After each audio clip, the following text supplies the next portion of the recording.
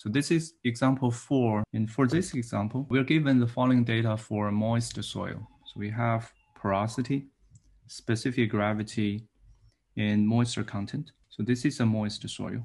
So we know the soil is moist and we want to calculate how much water is needed to bring it to full saturation.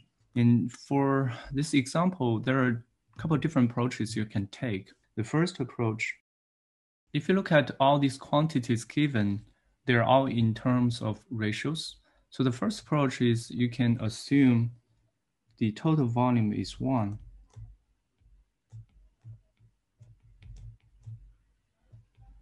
And then solve for the mass you need to add to bring this one cubic meter of soil to full saturation. So that's the mass you need to add, mass of water you need to add to bring this one cubic meter of soil to full saturation and then you calculate what's needed for 10 cubic meter of soil by multiplying that number by 10. So that's for 10.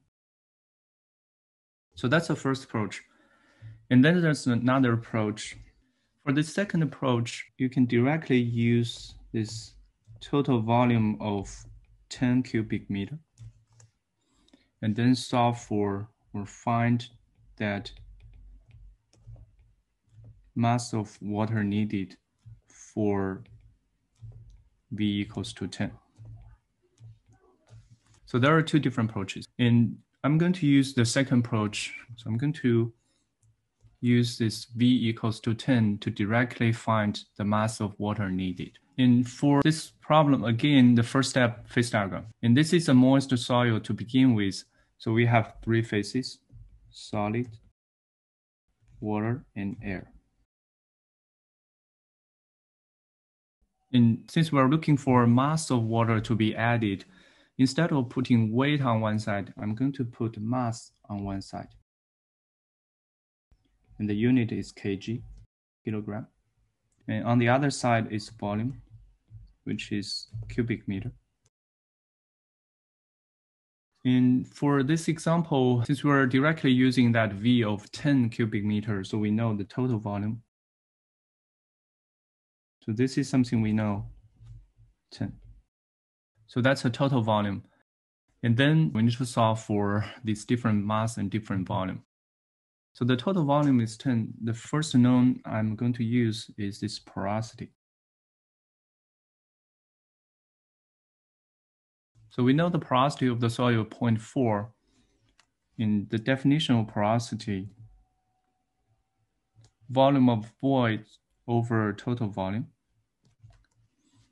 And from this definition, we can solve for the volume of voids. So it's n times total V, which is 0.4 times 10, so that's 4 cubic meter. So we know the total volume of voids is 4.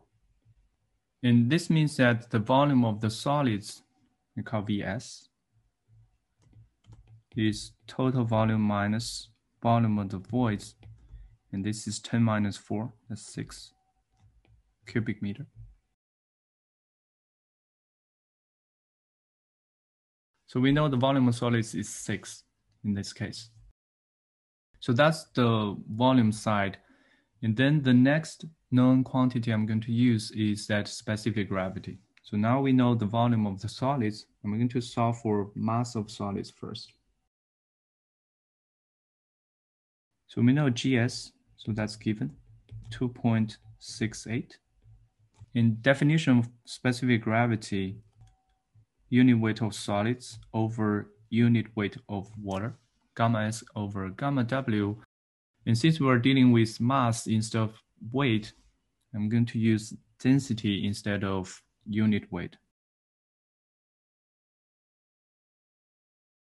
So density is unit weight divided by gravitational acceleration, which is a constant. So this ratio holds for density as well.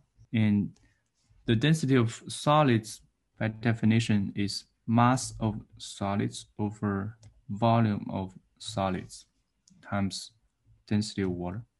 And then from this, you can solve for mass of solids.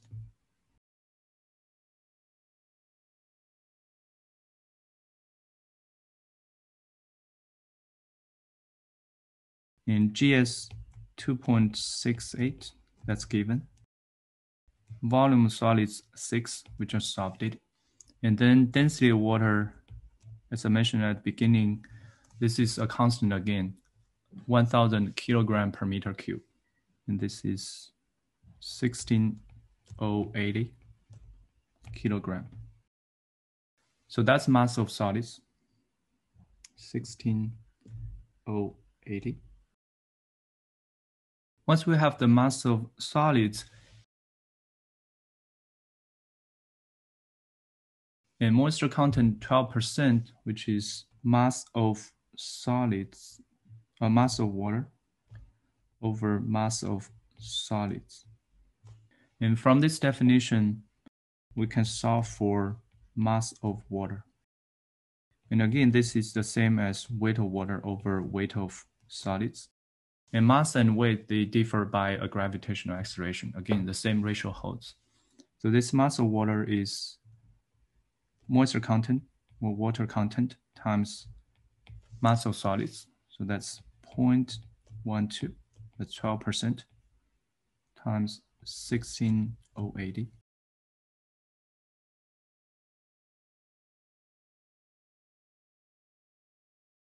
So that's mass of water, 1928.6 or 29.6. Okay, so we have basically the mass side taken care of. And then the, the volume side, the next unknown we're going to solve for is this volume water. Again, that technique I mentioned, for water, if you know one side, you can use the uh, density or the unit weight to solve for the other side.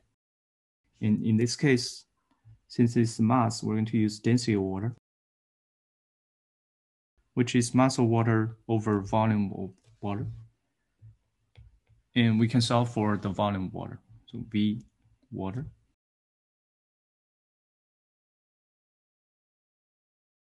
And this density of water is at 1000 kilogram per meter cube.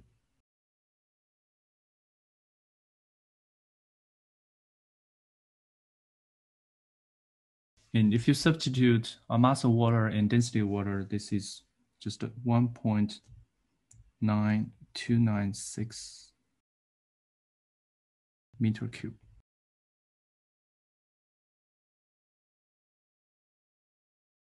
And finally, the volume of air is 4 minus volume of water, and this is 2.0704.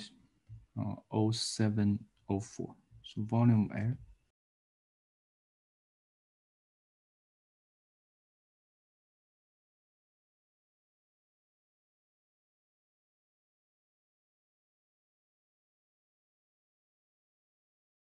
So 2.0704 meter cube. Okay, so that's a complete phase diagram. We have mass and the volume. So once we have this phase diagram completed, uh, what we're looking for is the mass of water to be added to bring this soil to full saturation. So to bring soil to full saturation,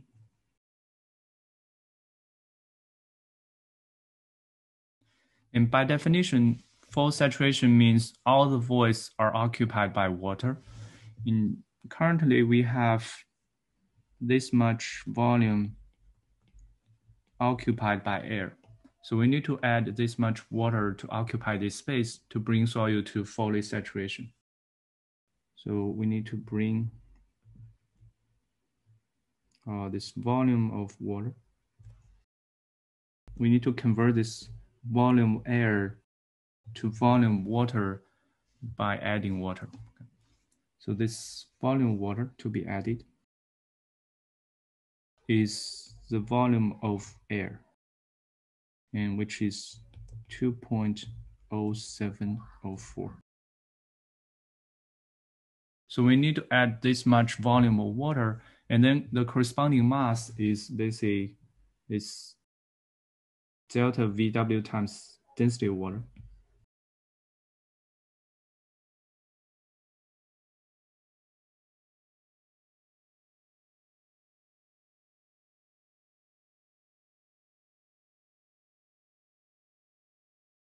And that's 2070.4 kg. So that's how much water you need to add to bring soil to full saturation. Again, just to fill this airspace with water. So that's a mass of water needed.